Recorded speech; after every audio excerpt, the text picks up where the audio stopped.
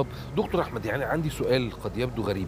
اللي إحنا عندنا حصر بالتأكيد بالأسر أو عدد المتضررين بس أنا عندي حصر نوعي يعني أنا عارف مثلا الأعمار آه، النوع آه، رجل سيدة آه، طفل كبير أشياء من هذا القبيل ولا لأ؟ بسأل السؤال ليه؟ علشان ما يبقاش الموضوع فيه غموض. أنا عايز إنه وزارة التضامن حتى وهي بتنسق ممكن مع بعض الجمعيات الأهلية أنا عاوز نبعت للناس دي بكرة ملابس. لأن الناس دي ملابسها يا اتبلت والناس دي بقى لها تقعد تغسل وتنشر وتكوي. يا الملابس راحت في الوبا زي ما بيتقال. تمام. بالفعل حضرتك آه، يعني عن طريق الهلال الأحمر وفي قوافل زي ما حضرتك أشرت إن في قافلة جاية عن طريق آه، ال- وزارة الداخلية. آه. في آه، قوافل جاية عن طريق تحيا مصر.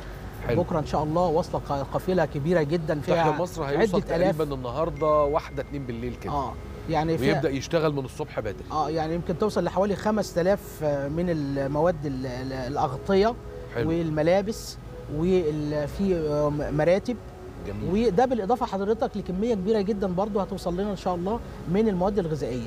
يعني أنا أقول يمكن حجم الكارثة الك- ال- الحاجات اللي جاية إن شاء الله هيبقى فيها القدرة إنها تغطي جميع المتضررين في خلال التوقيت دهوت على بال ما الوضع آه، يستقر بالنسبة له. حلو قوي.